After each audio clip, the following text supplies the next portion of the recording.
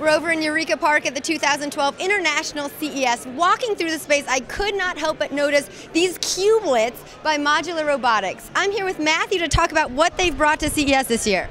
So uh, Cubelets is a robotic construction kit for kids. You've got different cubes that fit together in different ways.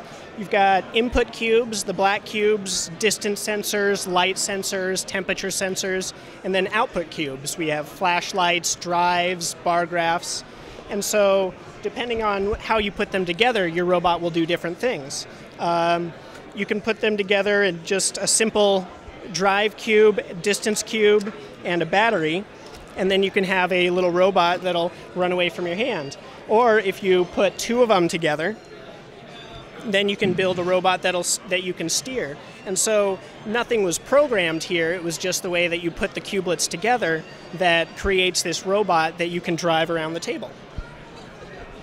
Oh, how fun is that? Modular Robotics here at the 2012 International CES.